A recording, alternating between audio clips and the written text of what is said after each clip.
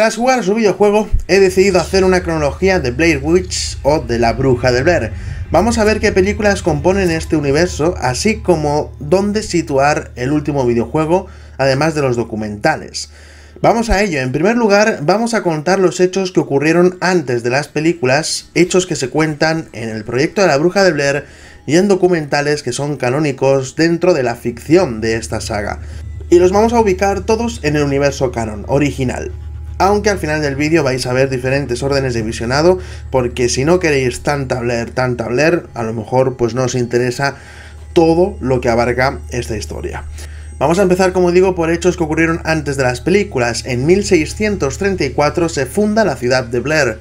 Varios años más tarde, en febrero de 1785, varios niños acusan a Ellie Edward de atraerlos a su casa para extraerles sangre.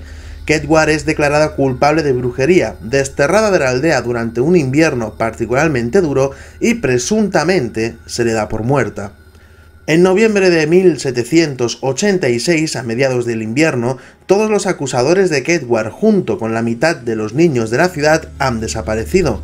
Temiendo una maldición, la gente del pueblo huye de Blair y promete no pronunciar nunca más el nombre de Ellie Kedward. En noviembre de 1809 se publica The Blair Witch Cult, un raro libro, comúnmente considerado ficción, que cuenta sobre una ciudad maldita por una bruja marginada.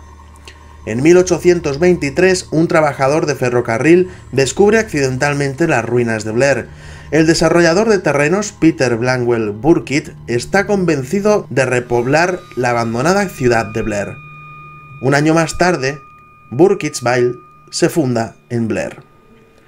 En agosto de 1825, durante el primer picnic anual de cosecha de trigo de Burkittsville, 11 testigos afirman haber visto la mano de una mujer pálida levantarse y empujar a Eileen Trickle, de 10 años, hacia Tappy East Creek. Su cuerpo nunca se encontró, y durante 13 días después del ahogamiento, el arroyo se ha obstruido con palos. En marzo de 1886, Robin Weaver, de 8 años, desaparece y se envían grupos de búsqueda. Aunque Weaver regresa, uno de los grupos de búsqueda no lo hace. Sus cuerpos se encuentran semanas después en Coffin Rock, atados de brazos y piernas y completamente destripados. Cuando aquellos que encontraron los cuerpos regresan con ayuda, han desaparecido sin dejar rastro. En noviembre de 1940, Emily Hollands se convierte en la primera niña de otros siete secuestrados en el área que rodea Barketsville. El 25 de mayo de 1941, un viejo ermitaño llamado Rostin Parr entra a un mercado local y le dice a la gente que está finalmente terminado, Después de la caminata de la policía durante cuatro horas a su casa aislada en el bosque, encuentran los cuerpos de siete niños desaparecidos en el sótano. Cada niño ha sido ritualmente asesinado y destripado. Parr admite todo y le dice a las autoridades que lo hizo por una anciana fantasma que ocupó el bosque cerca de su casa. El 17 de julio de 1941, Rustin Parr es juzgado en la corte por siete cargos de asesinato en primer grado. El testigo clave, Kyle Brody testificó que Parr fue el responsable de los asesinatos y el jurado regresó con un veredicto de culpabilidad. El 22 de noviembre de 1941, Rustin Parr es ahorcado. El 15 de enero de 1957, Kyle Brody se interna en el Instituto Estatal de Maryland para los Locos Criminales en Baltimore. El 1 de marzo del 71, Kyle Brody se suicida en su habitación abriéndose las muñecas con una cuchara de madera que afiló en el suelo de cemento de su celda. A continuación, ocurrirían los hechos de la primera película El proyecto de la bruja del Blair. La película se estrenó en el año 1999, pero sus hechos ocurren en el año 1994 y se nos cuenta una historia que transcurre durante tres años, terminando en 1997. Vamos a detallar cada suceso en cada fecha, y una vez se hayan encontrado las cintas de metraje, Vamos a ver el contenido de esas cintas. El 20 de octubre de 1994, vaya, el día de mi cumpleaños, los estudiantes de Montgomery College, Heather Donahue, Joshua Leonard y Michael Williams, llegan a Barketsville para entrevistar a los locales sobre la leyenda de la bruja de Blair para un proyecto de clase. Heather entrevista a Mary Brown, una mujer vieja y bastante loca que ha vivido en el área durante toda su vida. Mary afirma haber visto a la bruja del Blair un día cerca de Tappy Creek, en forma de una bestia peluda, mitad humana y mitad animal. Al día siguiente, el día 21, Heather Donahue entrevista a dos pescadores que les dicen a los cineastas que Coffin Rock está a menos de 20 minutos de la ciudad y que es fácilmente accesible por un viejo sendero de tala. Los cineastas caminan hacia el bosque de Black Hills poco después y nunca se vuelve a saber de ellos. Cuatro días más tarde, el día 25 de octubre, se emite el primer informe. El coche de Joshua Leonard está estacionado en Black Rock Road. Un día después, el día 26, la policía del estado de Maryland inicia su búsqueda en el área de Black Hills, una operación que dura 10 días e incluye hasta 100 hombres ayudados por perros, helicópteros e incluso sobrevolando la zona por un satélite del Departamento de Defensa. El día 5 de noviembre del 94, la búsqueda se cancela después de estar 33.000 horas buscando y no se logre conseguir ni encontrar rastros de los cineastas, ni ninguno de sus equipos. La madre de Heather, Angie Donahue, comienza una búsqueda personal exhaustiva de su hija y sus dos compañeras. El 19 de junio de 1995 el caso se declara cerrado y sin resolver. El 16 de octubre de 1995, estudiantes del Departamento de Antropología de la Universidad de Maryland descubren una bolsa de lona que contiene latas de películas, cintas DAT videocassettes y una cámara de video High Definition, el diario de Heather y una cámara de película CP16, enterrada bajo los cimientos de una cabaña que tiene 0 años. Cuando se examina la evidencia, el sheriff de Barkesville, Ronald Cravens, anunció que los 11 rollos de película en blanco y negro y 10 cintas de vídeo high definition son propiedad de Heather Donahue y de su equipo. El 15 de diciembre de 1995, después de un estudio inicial del contenido de la bolsa, se muestran piezas selectas de filmación a las familias. Según Angie Donahue hay varios eventos inusuales pero nada concluyentes. Las familias cuestionan la minuciosidad del análisis y exigen otra revisión. El 19 de febrero de 1996, a las familias se les muestra un segundo grupo de clips que los funcionarios locales del orden público consideran falsos. Indignada, Angie Donahue se hace pública con sus críticas y el sheriff Cravens restringe todo el acceso a la evidencia, una restricción que dos pleitos no pueden evitar. El 1 de marzo de 1996, el departamento del sheriff anuncia que la evidencia no es concluyente y el caso se declara nuevamente cerrado y sin resolver. El metraje se entregará a las familias cuando se acabe el límite legal de su clasificación, el día 16 de octubre de 1997. Cuando llega ese día, las imágenes encontradas de los últimos días de sus hijos se entregan a las familias de Heather Donahue, Joshua Leonard y Michael Williams. Angie Donahue contrata a Axan Films para examinar las imágenes y reconstruir los eventos del 20 al 28 de octubre de 1994. Como curiosidad, Axan es una película de brujería del año 1922, bastante buena por cierto, y de la que ya he hablado en algún vídeo anterior. Axan Films es una referencia a esa película. El contenido de las cintas que la policía encuentra es el siguiente. Se ve como el grupo se adentra en el bosque y localizan lo que parece ser un antiguo cementerio con siete pequeños montículos y acampan cerca. Esa noche escuchan el sonido de ramas que se rompen desde todas las direcciones, pero asumen que los ruidos son de animales o de gente local. Al día siguiente, intentan caminar de regreso al coche, pero no pueden encontrarlo antes del anochecer y acampar de nuevo. Otra vez vuelven a escuchar ramitas que se rompen por la noche, pero no pueden encontrar la fuente de los ruidos. Por la mañana descubren que se han construido tres montículos alrededor de su tienda durante la noche y eso les pone algo nerviosos. Mientras continúan, Heather descubre que su mapa no se encuentra. Más tarde Mike revela que lo tiró a un arroyo el día anterior por frustración.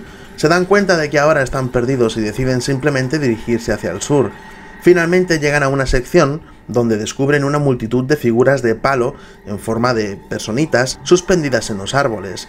Nuevamente escuchan sonidos esa noche, incluidos los de niños riéndose entre otros ruidos extraños. Después de que una fuerza desconocida sacude su tienda, huyen asustados y se esconden en el bosque hasta el amanecer. Al regresar a su tienda de campaña, descubren que sus posesiones han sido saqueadas y el equipo de Josh está cubierto de limo. A medida que continúan, se encuentran con un tronco en un río idéntico al que cruzaron antes. Se dan cuenta de que están caminando en círculos, a pesar de pensar que viajaron al sur todo el día.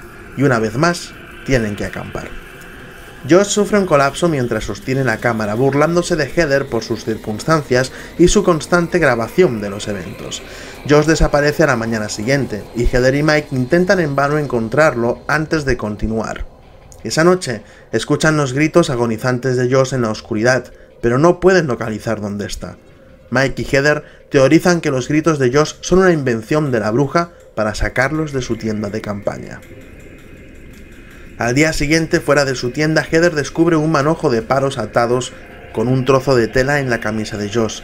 Mientras lo busca, encuentra restos de la camisa de Josh empapados en sangre, así como dientes, pelo y lo que parece ser un pedazo de su lengua. Aunque está angustiada por este descubrimiento, prefiere no decirle nada a Mike. Esa noche, Heather se graba disculpándose con su familia y las familias de Mike y Josh, asumiendo toda la responsabilidad por su situación, yo lo siento, pero esta escena no me la puedo tomar en serio después de haber visto Scary Movie. De nuevo, escuchan los gritos agonizantes de Josh, que está buscando ayuda, y lo siguen a una casa abandonada, que contiene símbolos demoníacos y huellas de manos sangrientas de niños en las paredes.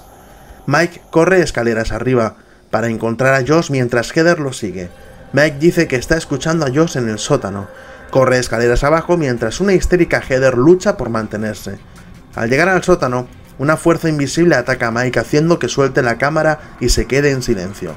Heather entra al sótano gritando y su cámara captura a Mike frente a una esquina. Algo no visto ataca a Heather, haciéndola soltar su cámara y quedarse en silencio también. El metraje de la cinta termina. Bien, Hagamos un parón en las películas porque este mismo año se estrenó un videojuego titulado simplemente Blair Witch. Sí, existen más juegos, pero no son oficiales ni tienen mucho que ver con las películas salvo el nombre. Sobre estos juegos hablé en un vídeo sobre secuelas de películas en videojuegos que tenéis en este canal. Si queréis saber sobre ellos podéis ver ese vídeo. No me voy a centrar en ellos en este. Este juego de Blair Witch 2019 nos sitúa en el año 1996 y trata sobre un niño que desaparece en el bosque Black Hills cerca de Barketsville, Maryland. El jugador es Ellis, un ex oficial de policía con un pasado problemático, y te unes a la búsqueda de este niño. Lo que comienza como una investigación ordinaria pronto se convierte en una pesadilla interminable mientras confrontas tus miedos y a la bruja de Blair, una fuerza misteriosa que ronda el bosque. Los hechos de este juego ocurren paralelamente a los hechos de la película original, ya que la película, eh, como abarca desde 1994 hasta 1997, en 1996 también están sucediendo cosas. Por tanto, sería elección vuestra situarlo dentro del canon o como algo aparte o paralelo.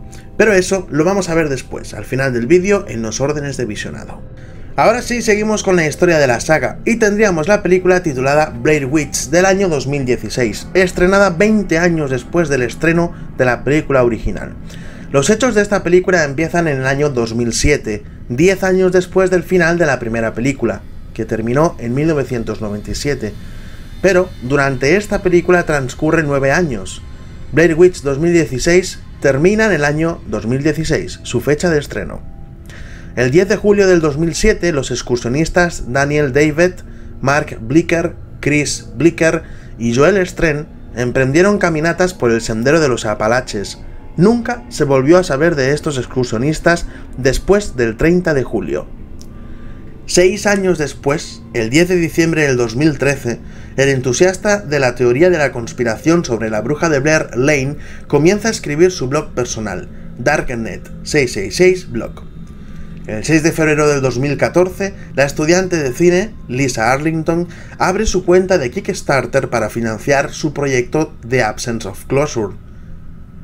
El 31 de marzo del 2014, The Absence of Closure comienza su producción.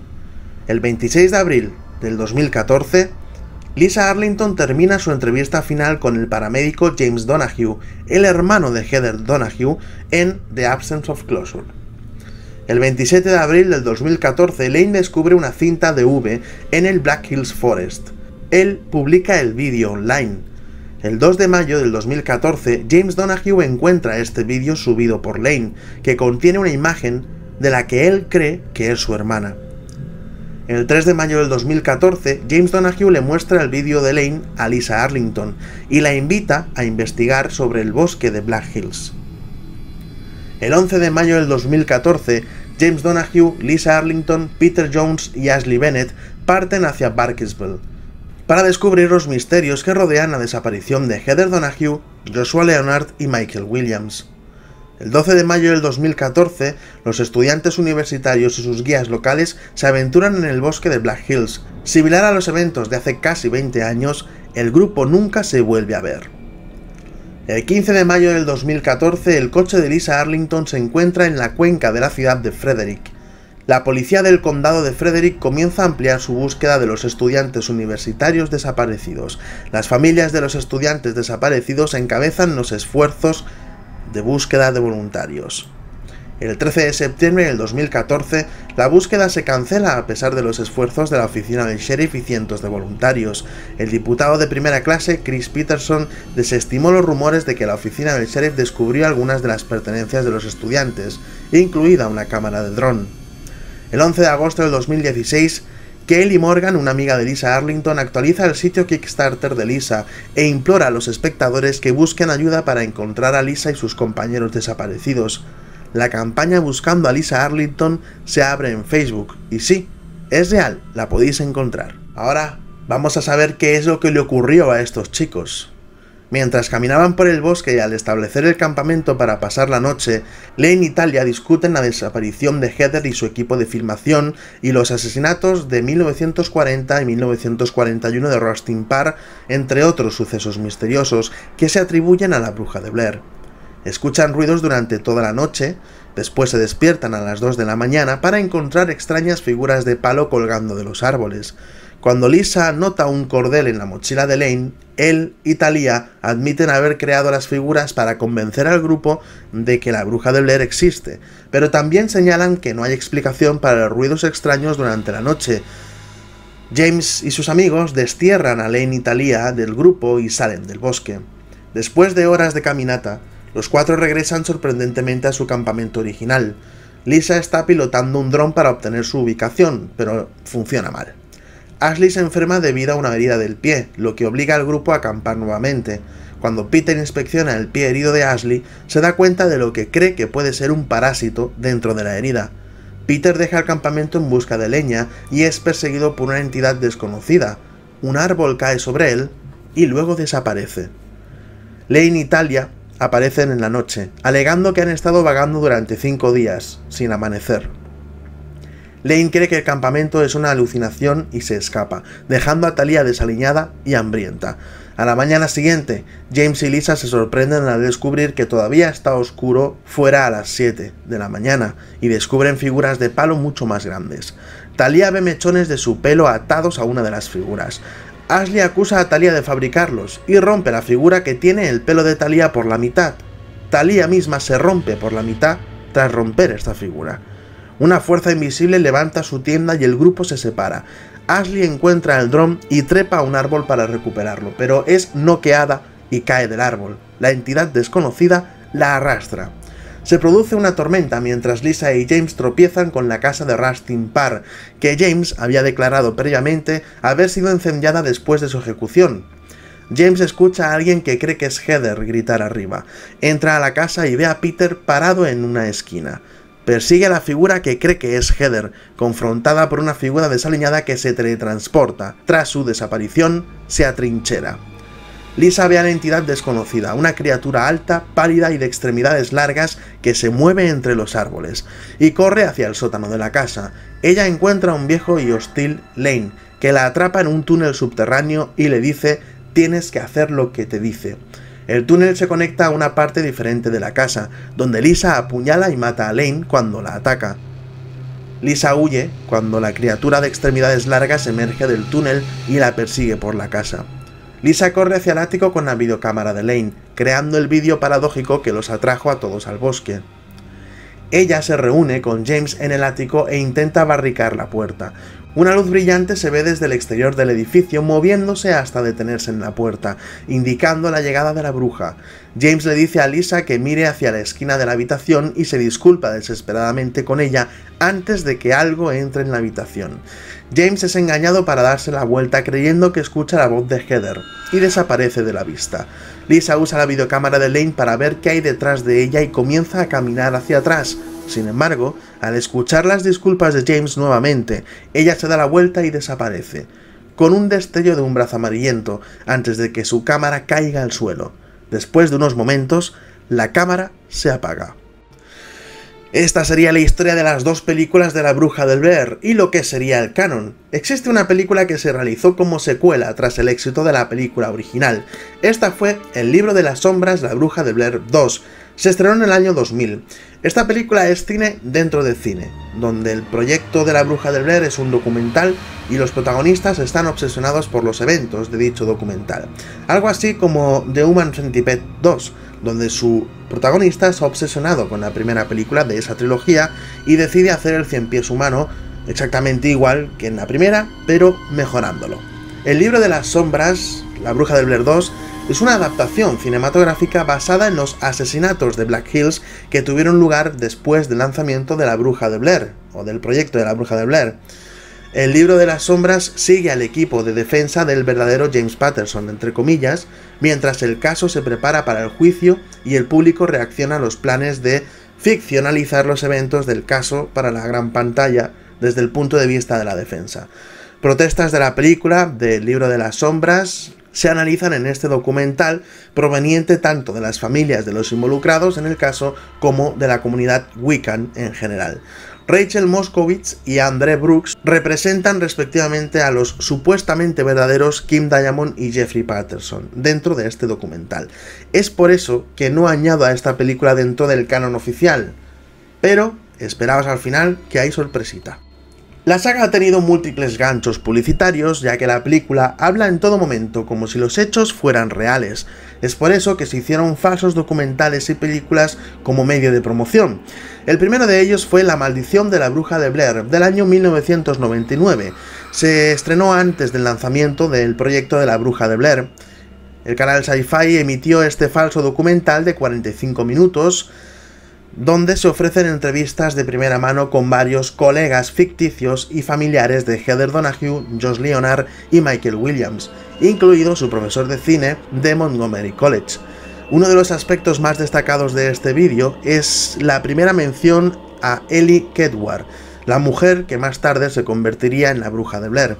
La maldición de la bruja de Blair se creó para dar más credibilidad a la idea de que los eventos de la película original realmente fueron de verdad, y fue la forma en la que se comercializó la película original en su lanzamiento.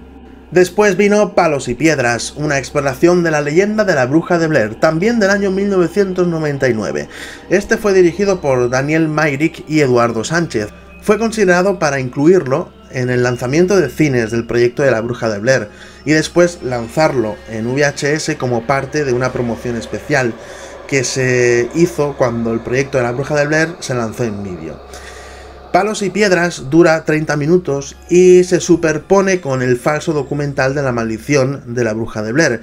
Este falso documental consiste principalmente en cortes alternativos de muchas de las entrevistas de las películas o documentales anteriores, pero hay también material nuevo donde hay una breve conversación de 1995 con el padre de Joshua Leonard sobre la desaparición de su hijo. Palos y Piedras también incluye una conversación extendida entre Heather Donahue y Michael Williams, que es realmente una escena eliminada que se cortó de la película original.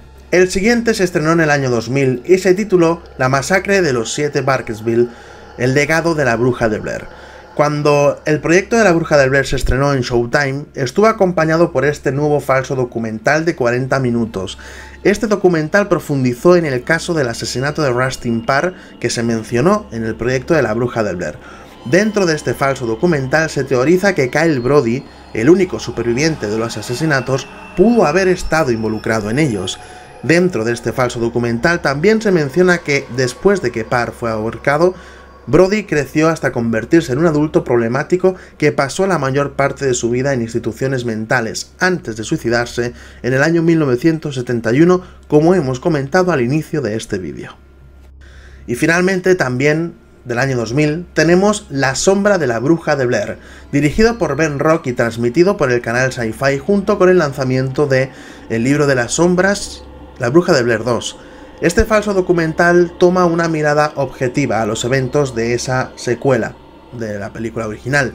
Tiene una duración de 45 minutos y examina la vida problemática del el supuesto verdadero Jeff Patterson y su obsesión por el proyecto de la bruja de Blair.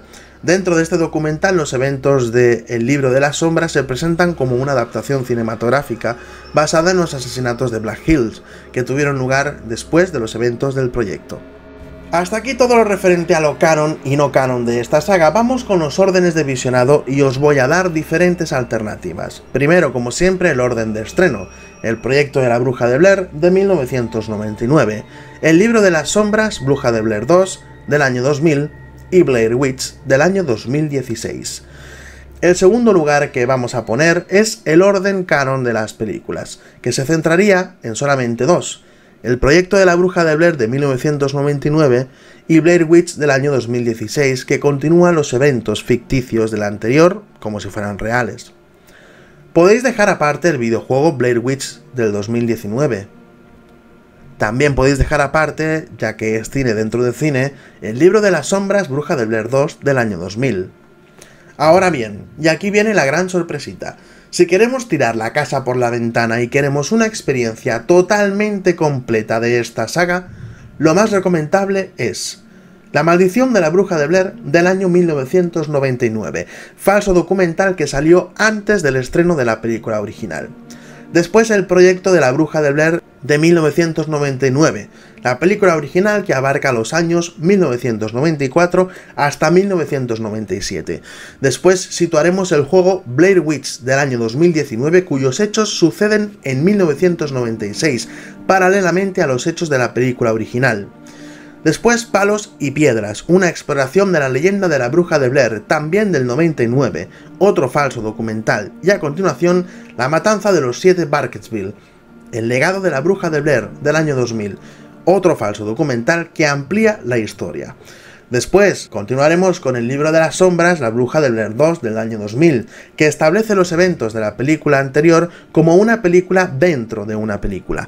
El falso documental del universo Blair que revela que Book of Shadows es una adaptación cinematográfica basada en los asesinatos de Black Hills. Tras esto, otro falso documental, La sombra de la bruja de Blair del año 2000, que amplía lo visto en la segunda entrega y finalmente, para terminar, la película Blair Witch del año 2016, que sigue la historia de los familiares y amigos de los desaparecidos en la película original. Hasta aquí llegaríamos hoy. Ahora podéis dejarme en comentarios qué orden de visionado preferís vosotros, si el más completo o solamente las dos películas que son canon. Eso ya es decisión vuestra, pero me gustaría saberlo. Muchas gracias por ver este vídeo, espero que os haya gustado y nos vemos en el próximo. Recuerda darle like y compartir para poder subir más cronologías. Espero que os haya gustado, nos vemos en el próximo vídeo. Adiós.